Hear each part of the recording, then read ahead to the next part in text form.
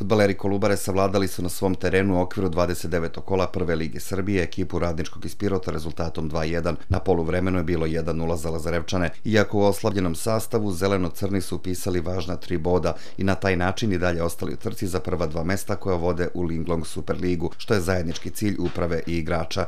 Za Kolubaru strelci su bili Marko Simić i Dejan Đenić, dok je za gosti iz Pirota jedini strelac bio Miloš Kukolj. Trener Kolubare Zoran Milinković u izjavi za Game Info čestitao igračima na pruženoj nacionalnoj partiji i naglasio da je pobeda njegove ekipe bila zaslužena uprko s brojnim problemima. Pa najprije bih pozdravio sve vaše slušalce i složio se sa vašom konstatacijom da je bila da smo osvojili vrlo važna tri boda uprko svim kadrovskim problemima jer zaista u ovom momentu bili smo vrlo opterećeni što povredama, što žutim kartonima, tako da četnici našim momcima vrlo važni tri boda i mislim da je i zaslužena pobjeda bila, kažem, uprkos, uprkos svim problemima.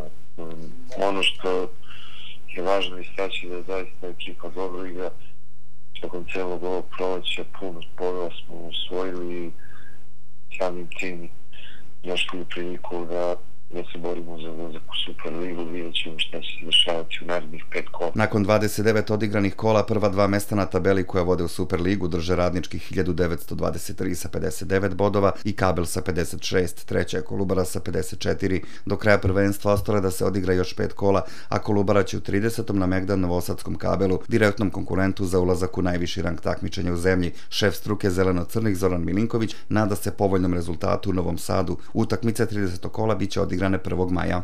Jeste, evo, to je jedno u nizu, dakle, tih pet kola do kraja, dakle, 15 bodova u igri, jedna utakmica, takođe vrlo bitno za nas. Vidjet ćemo da li je odlučujuća, kažem, 15 bodova još u igri, sve je moguće do, do kraja, sportski je, nadati se, to smo ostalom radili čitavog ovog proleća, ovaj, to i daje neki pun smisao svem onome što radi novo proleće, tako da ništa željno iščekujemo tu utakmicu u Novom Sadu i verujem da, da će naša kadrovska situacija biti mnogo bolja.